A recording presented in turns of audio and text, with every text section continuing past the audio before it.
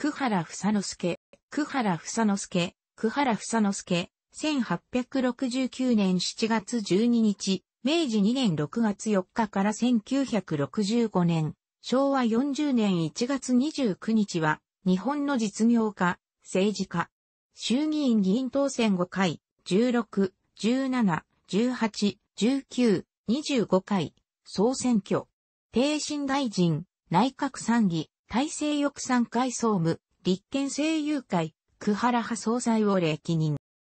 日立製作所、日産自動車、日立造船、日本工業創立の基盤となった久原工業所、日立銅山や久原財閥の総帥として、鉱山王の異名を取った。第一次世界大戦後の強行を機に、政界へ進出。政界の黒幕、フィクサーと呼ばれ、右翼に資金を提供して2.26事件に深く関与した。戦後は永久戦犯容疑者となり、公職追放となった。戦後は日中、日ソ国交回復会議議長などを務めた。また、現在の大東急記念文庫の基礎を築いた。正蔵医、勲位等、萩市名誉市民。父、久原正三郎、1840年から1908年、天保11年明治41年、母、文子の四、男として、長州、萩城下の唐日町、現在の山口県萩市に生まれた。幼名は、坊三郎。後、房之助と改名。兄は、日本水産の母体を作った田村一郎。叔父は、藤田財閥の藤田伝三郎。久原家父その地である須佐を出た小三郎は、ひとまず、萩城下の今魚の棚町に落ち着き場所を求めた。廃業した作り酒屋を買い取り、当時を雇って新しく事業を始めたが、まるで商売にならなかった。唐日町でも酒造業を続けたが、やはり思うようにはいかず、房之助が生まれて2ヶ月後には、熊谷町に移転、酒から醤油醸造業に転業したが、結局は失敗に終わった。房之助は1885年、明治18年に東京商業学校、元気と橋大学を卒業し、1886年、明治19年に慶応義塾、現、慶応義塾大学に入学、本科4等を経て、1889年、明治22年に同塾本科を卒業する。学友に寺島重信、鈴木島吉がいる。慶応義塾在学中に、三田演説館で森村の講演をしばしば聞き、道義を重んじる精神と、その貿易立国論に共鳴し、1890年、明治23年、貿易を志して、森村一左衛門の森村組に入社する。しかし、叔父、藤田伝三郎と結びついていた、井上薫の命令で、叔父の藤田組に移る。1891年、明治24年に小坂銅山に赴任する。新技術の導入により、主要産品を銀から銅へ転換する、と、業績を拡大して行った。1903年、明治36年に藤田組を退社する。1905年、明治38年に茨城県の赤沢銅山を買収し、日立銅山と解消する。1910年、明治43年に日立製作所を設立し、1920年、大正9年に株式会化、1912年、大正元年に久原工業所、後に日本工業と改名、現在の JXTG ホールディングス、JX 金属を設立して社長となる。鉱山経営を足がかりにして企業を拡大し、造船業、肥料生産、商社、生命保険を参加とする、久原財閥を形成する。しかし、短平級に事業を拡大したために無理が災いし、大正末期に中核だった久原工業を義兄の相川義介に譲渡し、同社は日産自動車の基礎となる。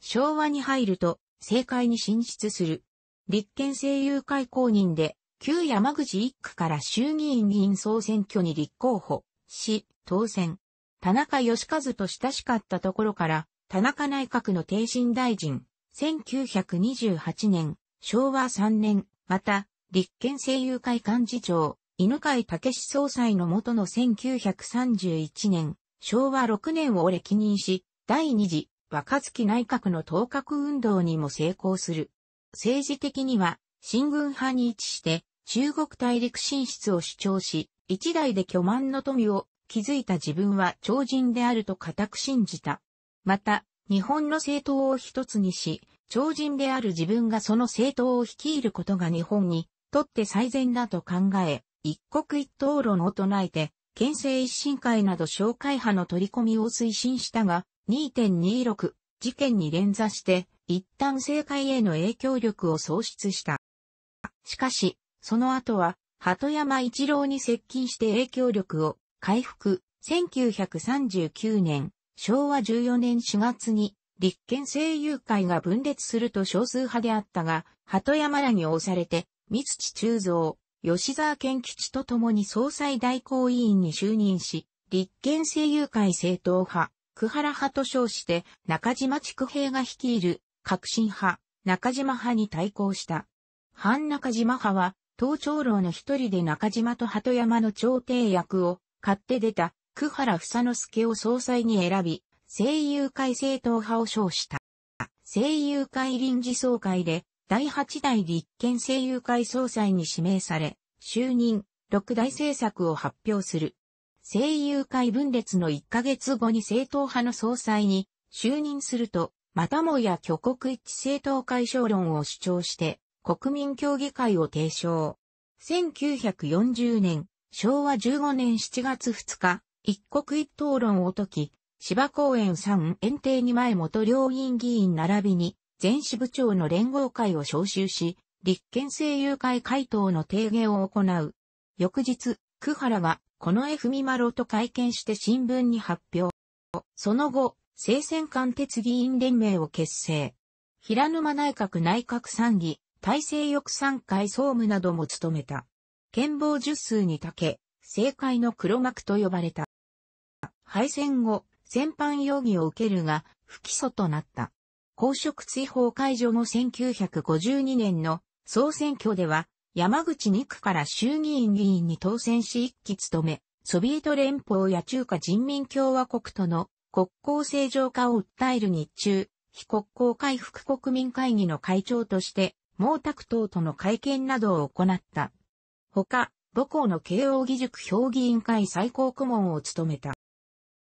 1965年、昭和40年1月29日、東京白金の自邸、現、八方園で95歳にて死去した。後、明治の清少として活躍、藤田組を創業した藤田伝三郎は父、小三郎の実弟にあたる。なお、小三郎は伝三郎が藤田伝三郎紹介、後の藤田組、現在の同和ホールディングス設立の際に共同経営者として名前を連ねている。二回結婚しており、最初の妻が相川義介の妹、清、小福の子を含めると三男十女、計13人の子に恵まれた。長女は、元衆議院議長、石井光次郎に、三女は、大熊重信の孫、信行に、四女は、元東京急行電鉄社長、後藤昇に、やめは、元スタンレー電気社長、北野高沖に嫁ぎ、九女と十女は、米国人と結婚している。孫に、シャンソン歌手の石井よし子と、元東急建設社長の後藤明、スタンレー電気社長の北野隆則がおり、早々に、詩人、フランス文学者の浅吹良二が、現存に、小説家で、第144回、芥川龍之介賞を受賞した、浅吹真理子がいる。古川薫著、惑星が行く14から15ページによれば、楽しくご覧になりましたら、購読と良いです。クリックしてください。